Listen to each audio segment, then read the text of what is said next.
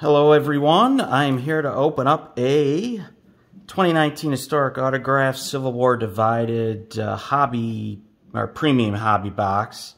These are pretty hard to find nowadays, so I was kind of excited to find it and uh, decided to film myself while opening it. So hopefully that brings me luck.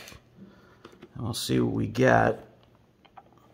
Um, one of the first one of these boxes I opened uh, back think it was in early 2020, might have been 2019. I pulled uh, a, a Abe Lincoln cut signature.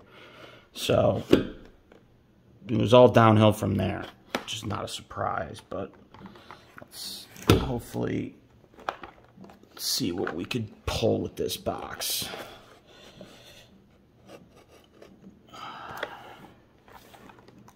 There we go. Okay. You get you're guaranteed two to three autographs. And then there's obviously you know the base cards and stuff. Um, there's stamp cards and coin cards as well. First up is let me see if I could change my phone angle so we could see this better. Yeah, there we go. That's better what is this? Stock certificate signed by Orland Smith. Well, that's a common. That's no nothing too interesting. All right, let's just go right to the good stuff. Cut signature.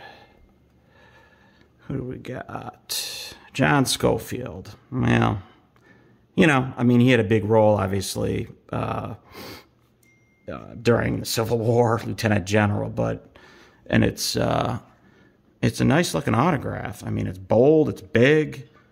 It's signed Major General USA um, with compliments of, okay, John M. Schofield. I think I have one of these. Maybe I, I might have two.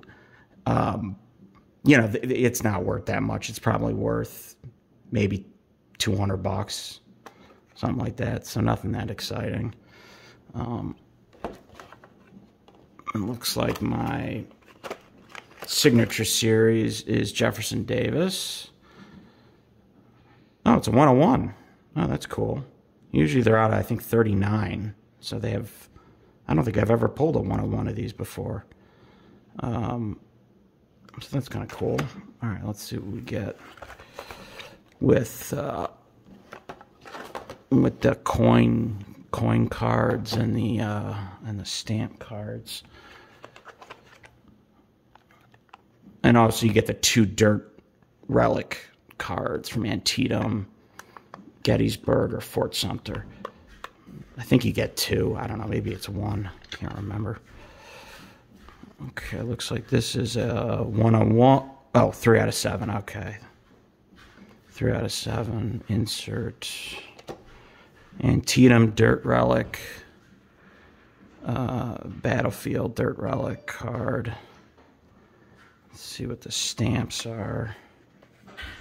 These look, I don't want if these look normal, nothing too, because they have some that are Confederate stamps that are either uh, serial numbered out of 100, uh, 30, 39, and then and then I actually do have a one on one but these are just the common ones.